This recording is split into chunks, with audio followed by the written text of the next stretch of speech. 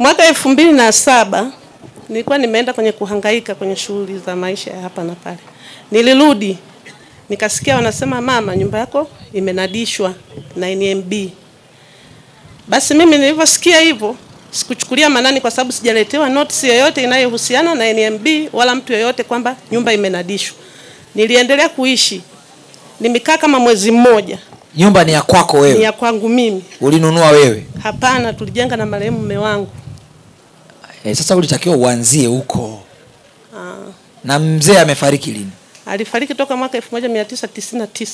sawa endelea Basi baada ya hapo nili, nilienda NMB nikakutana na meneja. Nilipofika kule nikamuita, meneja akaniita akasema, mama, kaa hapa.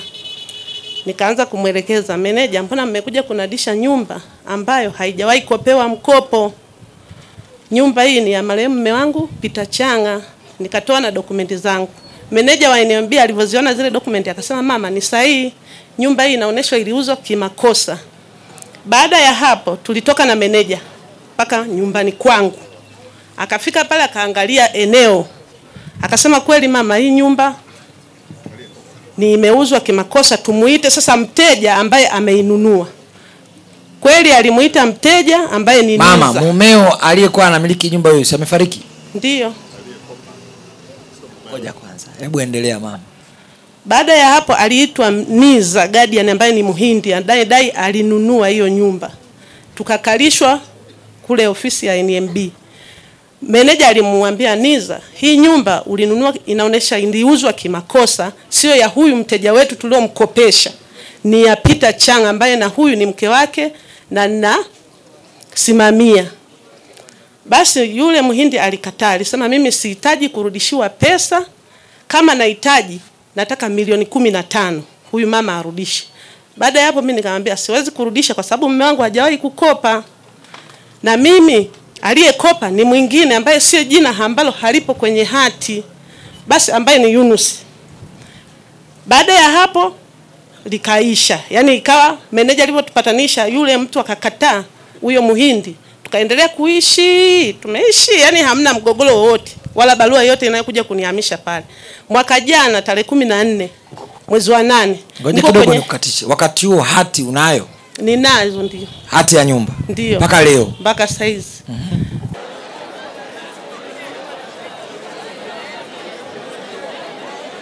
iko wapi hati? Ndio ofa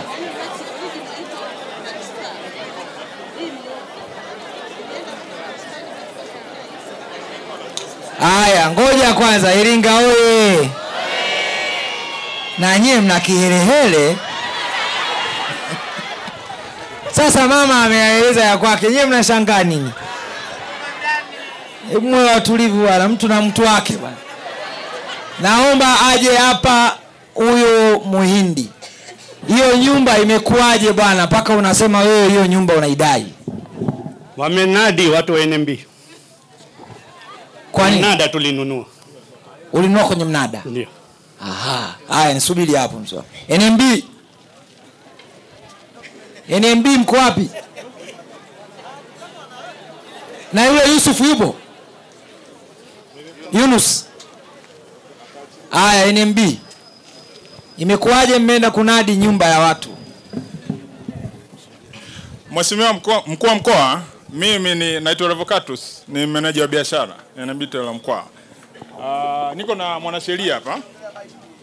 nani sasa anayejibu Niko, niko na mwanasheria wa benki, naomba ataongea yeye. haya twende kazi Mheshimiwa mkuu wa mkoa, Mheshimiwa mkuu wa mkoa, ni kweli nyumba hiyo iliuzwa kwenye mnada, na mimi naitwa Musa Mwagama, ni wakili wa benki.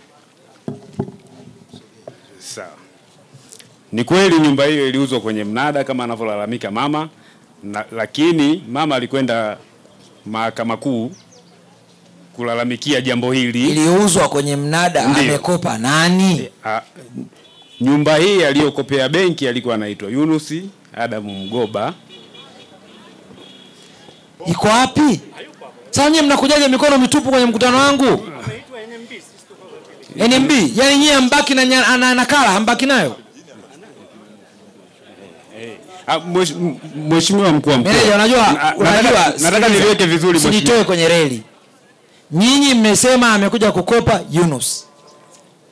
Alikopa Yunus. Sasa mimi nataka kuona wewe umeniambia ofa imeandikwa jina la Yunus. Yunus alikwenda mara- baada ya mkopo huu kuwa amedefault na benki wakawa wamefanya mnada Yunus alikuwa hataki kutoka nisikilize- Wewe unaelewa Kiswahili? Ah, Yunus alikuuliza unaelewa Kiswahili? naelewa vizuri sana. Aliyekuja kukopa nani? Yunus Alileta collateral gani? letter of offer. Ina jina gani? Yun- Yunus Adam Lete Mkoba. kopi hapa. Ah, Mheshimiwa, ninachokizungumza jambo hili lipo mahakamani na baadhi ya nyaraka azungumze. jambo hili Wewe tatizo lako wewe umejifungia umemeza maneno. Kwa hiyo nikikuuliza maswali huwezi kujibu. Subiri kwanza ajibu afisa ardhi hapa. Mheshimiwa mkuu wa mkoa, mimi ningeomba mtu wa, wa, wa, wa benki ajipange kidogo, kwa sababu mkopaji alifika ofisini kwangu na aliniambia kwamba zile nyaraka, nyaraka kwanza nyaraka bado zinasoma kwenye jina la mume wa mama. Akasema mwenyewe alichomoa nyaraka za huyo, al- alitoa kopi ya ya document ya huyu mama, yeye akiwa boyfriend wake, akachomoa ile document akatoa kopi, akaenda nayo benki akachukua mkopo alafu akatoroka. Na benki mnampa mtu Yeah. mkopo kwa hati ya kutoa fotokopi. Hebu ngoja meneja ingia hapo. Wewe kaa kwanza. Mheshimiwa- Ah, ah. Mheshimiwa mkuu. Toka hapo kwanza. Toka hapo. Wewe meneja meneja kaa hapo. Nataka unieleze wewe si meneja bwana. Taratibu za kutoa mkopo zikoje? Kwa hiyo mimi leo nikija na hapa na, na photocopy ya hati ya nyumba ya Kasesera mnanipa mkopo? Ha- Hapana, mheshimiwa mkuu wa mkoa, lakini nilikuwa naomba nikueleze kwa ruhusa yako kwamba shauri hili liko mahakamani la kesi ya huyu mama. Kwa ni Sikilize, nauliza maswali ya msingi, sijauliza proceedings za mahakama. Nauliza mlimpaje huyo Yunus mkopo?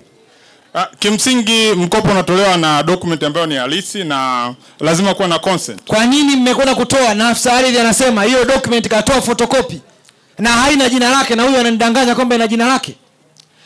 Document Kwa nini hamjaja hamjaja nayo hiyo document? ah, kimsingi ah, kwa taratibu kukifanyika mnada tayari yule mnunuzi anakabidhiwa Nasemaje? Nisikilize meneja, mnada hauhalalishi jinai. Mnada hauhalalishi jinai.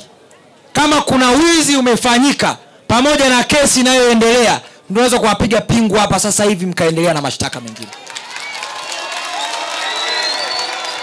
Ndiyo, na wewe ni mwanasheria, mnada hauhalalishi jinai, na jinai hai expire, haina time limit, haiko time bad.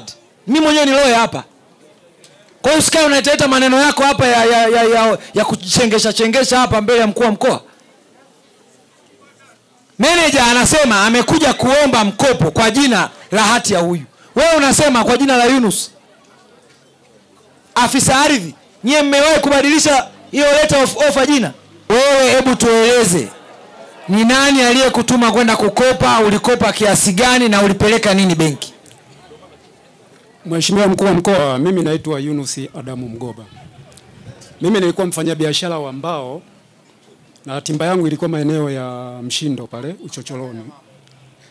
Nimef, ilikuwa mwaka elfu mbili na saba nimefanya hiyo biashara kufika mwaka elfu mbili na nane nikawa na kopa kopa kidogo dogo. Nilianza na milioni tatu nikaja milioni tano nikaja milioni moja na baadaye nikaja mkopo wa mwisho ambao ndio umeleta tatizo, ilikuwa ni milioni tano. Baada ya milioni tano, kabla sijamaliza ule Ulikopa mkopo- wapi huo mkopo wa milioni tano? NNB. Ulipeleka nini? Kitamana. Dhamana. Dhamana yangu kwanza ilikuwa ni biashara yangu. Pili vilikuwa ni vitu vya ndani. Haikuwa ni nyumba. Stop. Meneja hapo. Mheshimiwa mkuu wa mkoa, kwanza nikiri tu kwamba mimi ni si mwenyeji sana hapa, nilihamishwa hapa. Kwa hiyo nilipokabidhiwa hii- hii- ofisi nilipewa pia nyaraka ya kesi ambazo zilikuwa pending, mojawapo ikiwa ni hii inayohusu hii kesi. Ngoja nisimame, naona sasa mnataka kunichezea. Sogea mwanasheria hapo. Wewe umeniambia dhamana ilikuwa ni nini?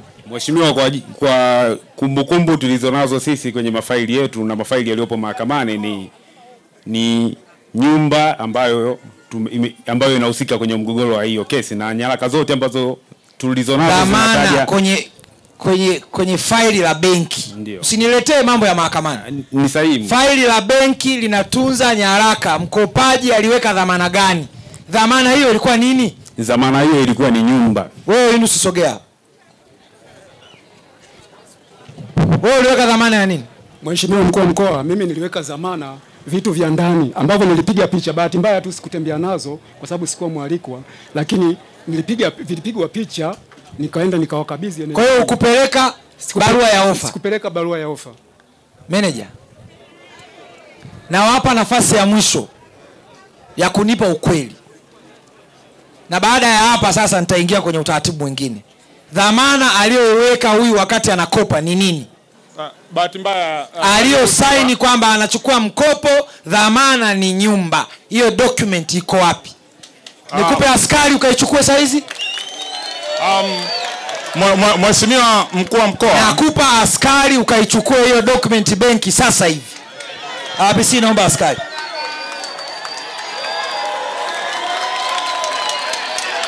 Nakupa askari nakupa gari wewe na mwanasheria wako mkaniletee hiyo document hapa ya mkopo.